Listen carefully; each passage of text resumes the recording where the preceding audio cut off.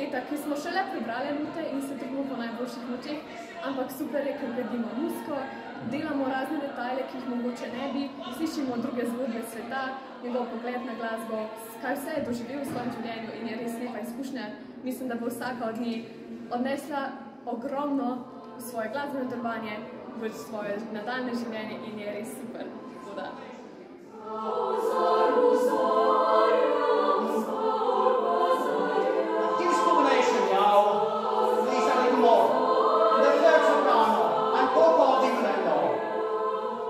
Delavnica je res dobra, je ena res lepa izkušnja.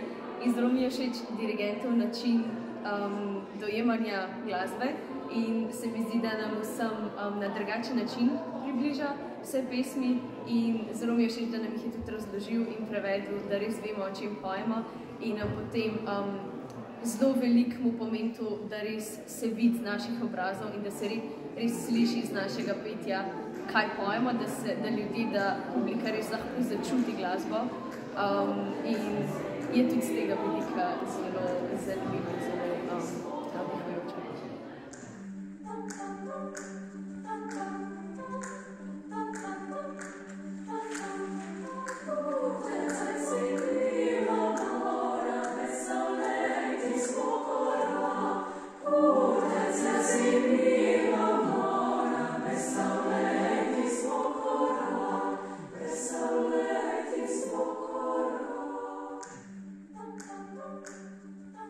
meiteņu kori, Svētās Neslavska skolas kori, kas man patiešām bija ļoti aizkustinošs, ļoti emocionāls un ļoti tāds tīri cilvēciski pārsteidzošs moments. Šis ir viens brīnišķīgs pasaules klases meiteņu koris.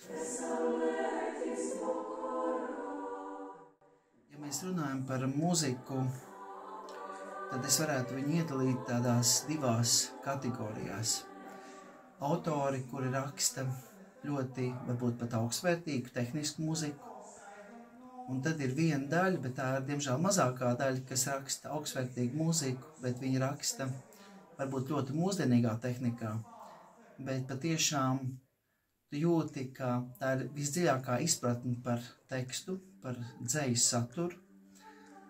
Un tu jūti, ka viss, kas staro no šīs muzikas, tas arī staro no šī komponista sirds. Patiešām jūt, ka šī mūzika ir mīlēta, ļoti īpaša, ļoti izdzīvota un pārdzīvota.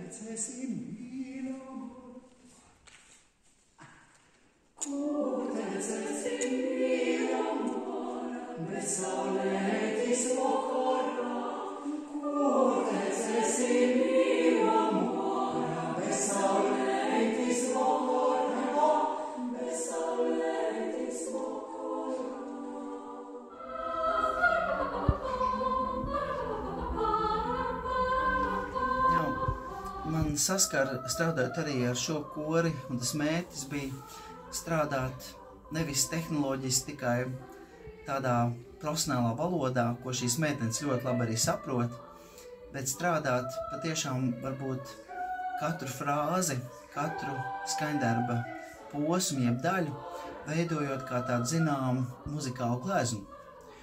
Un eh, šīs gleznas veidojas tajā brīdī, kad nevis tu strādā tie tādā tehnoloģiskā valodā, runājot par tempiem, runājot par dinamiku, bet varbūt salīdzinoši gleznojot savā, manā fantāzijā šīs ainavas, ko es gribētu šeit ne tikai dzirdēt, bet arī redzēt, vizuāli redzēt. Un es domāju, ka šī ir viena no tādām, zināmā mērā, izzūdošām vērtībām, jo šis tehnoloģija laiks, protams, mums vairāk piesaista pie datoriem, pie telefoniem, un mēs arvien retāk spējam paskatīties dabā, debesīs, un visam, kas mums ir apkārt, tieši kas saistās ar dabu. Un tas ir tas īstais iedvesmas avots, kas, manuprāt, spēj mūs visus uzlādēt un veidot un attīstīt mūsu fantāziju, mūsu fantāzijas neierobežotās iespējas.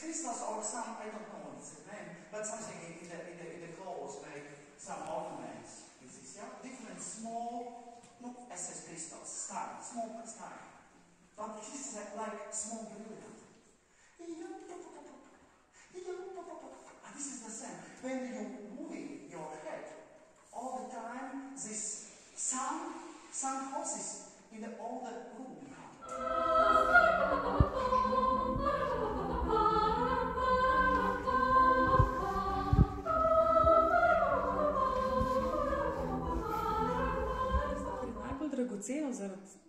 Sem jaz res hvaležna, da smo mi to delavnico imeli, um, so tri stvari.